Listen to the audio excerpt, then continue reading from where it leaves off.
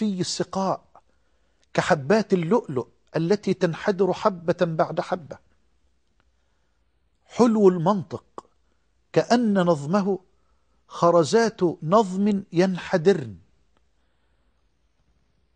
أبهى الناس وأجملهم من بعيد وأحلى الناس وأحسنهم من قريب. غصن بين غصنين فهو أنظر الثلاثة منظرا عليه الصلاة والسلام. غصن بين غصنين. فهو أنظر الثلاثة فهو أنظر الثلاثة منظرا له رفقاء. له رفقاء يحفون به. إذا تكلم سمعوا لقوله. وإذا أمر تبادروا لأمره.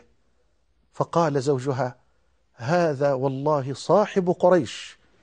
والله لو كنت معه لاتبعته ولأجهدن إلى ذلك سبيلا ولأجهدن إلى ذلك ما وجدت إلى ذلك سبيلا هذا والله رسول الله صلى, صلى الله, الله عليه وسلم. وسلم. جزاكم الله خيرا آه، يعني كان خير الختام آه، في هذه الحلقة إن إحنا نذكر وصف أم